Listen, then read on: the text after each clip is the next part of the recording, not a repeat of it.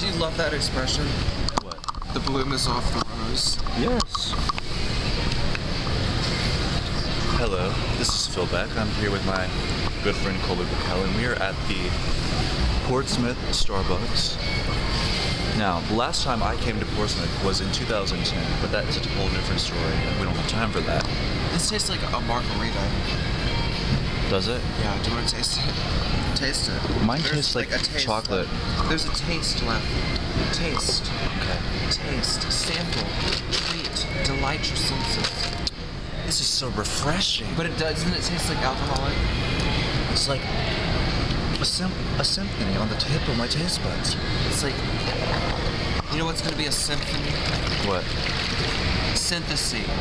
Synthesis. The, the new hit of the album Peak Season.